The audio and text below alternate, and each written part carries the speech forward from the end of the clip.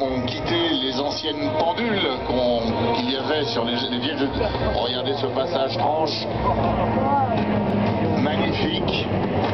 Alors on doit tirer un petit peu sur le moteur de gauche pour rétablir l'équilibre.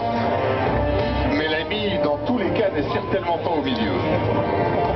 Donc le poste de pilotage maintenant fait, adopte une avionique très récente, la même que celle qu'on trouve sur le C-130.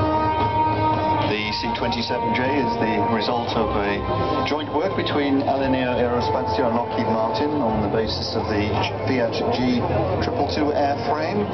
This has been married with the latest in the avionics and the engines from the latest version of the Hercules, the C-130J, the two Rolls-Royce Allison engines, each developing 4,700 horsepower, and the C-27J is fitted, fitted with the latest in avion avionics and a glass cockpit permitting uh, operation under all conditions.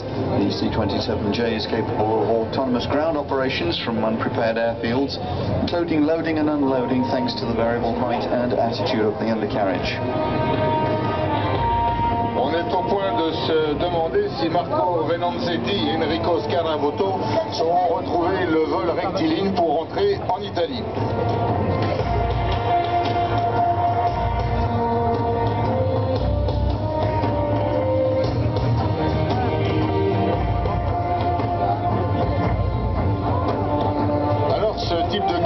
Type de cargo même qui peut opérer à partir de terrains sommairement aménagés ou des pistes en ou des pistes en latérite, puisque son train est un train de type jockey, ce sont des roues qui sont traînées.